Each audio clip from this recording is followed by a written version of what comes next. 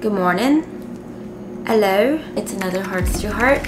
And this is also like the fifth time I filmed this because the other times I just couldn't talk to be focusing on just how bad is not liking your job. I think sometimes we play down the cons of having a certain job because it's a lot of work to leave that specific work environment, job, and whatever. It's just a lot of work to switch careers.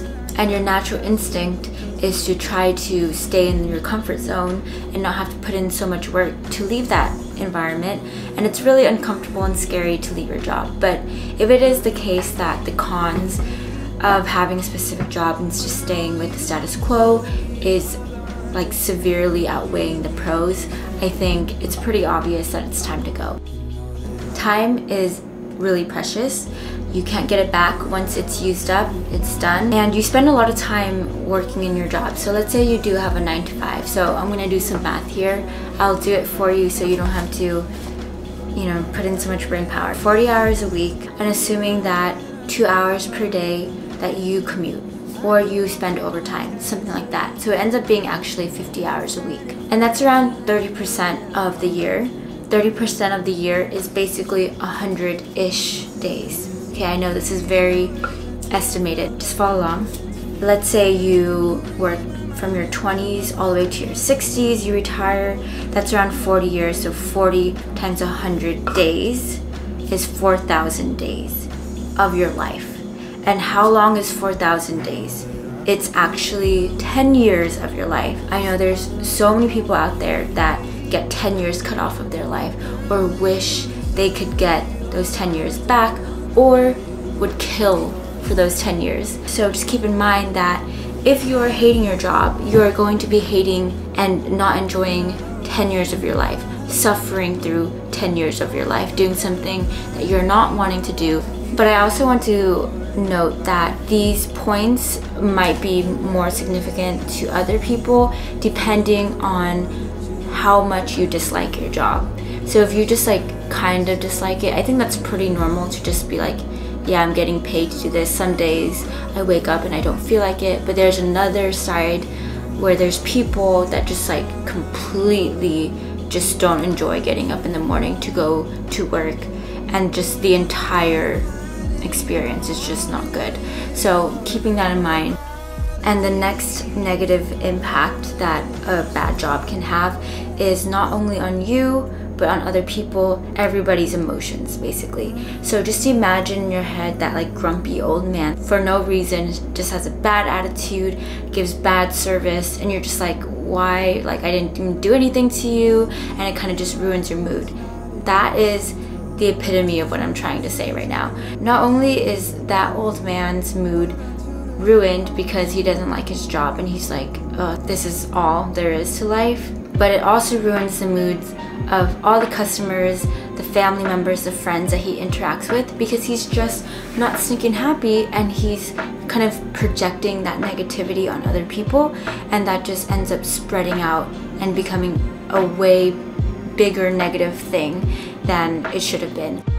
Also, having a job you don't really like actually costs you a lot more money than you think. You're actually paying more than you would out of your pocket if you liked your job. If you like your job, you're not going to spend that much money or time trying to escape reality and that negative part of your life. But if you don't like your job, you might be spending more money on entertainment, like partying, drinking, whatnot, to kind of make yourself feel fulfilled for the time being and to kind of put a band-aid on the problem. In reality, you're actually getting a lot more money drawn out of your pockets for something you don't like doing. And lastly, another consideration that a lot of people don't consider is the types of people that you're surrounding yourself with. So I don't know if you guys have heard the saying, but you are most similar or you are made up of the five closest people that you spend your time with. So you spend a significant amount of time with your coworkers and your coworkers' mindsets and the way that they approach their life and behaviors are going to severely affect you whether or not you notice it they have impact on who you become and how much you can grow and how you see your future. So if you're surrounding yourself with people in corporate America that are very subservient to the entire system, it is more likely that you are going to stay in that system and be comfortable within that system because that's the kinds of people you're surrounding yourself with. It's not likely that you're going to leave and try to make yourself a better person, give yourself a better opportunity, because everyone's kind of just sticking to the status quo and that's all you've been seeing. Those are some key things that I've thought about and I've personally experienced. Also things that I didn't expect. I assumed that just having a bad job was just gonna be like, I'm just kind of not gonna be happy. It's fine, like I can deal with it. And then after work, I'll just, you know, really enjoy my life and make the most out of it and have passions and blah blah blah.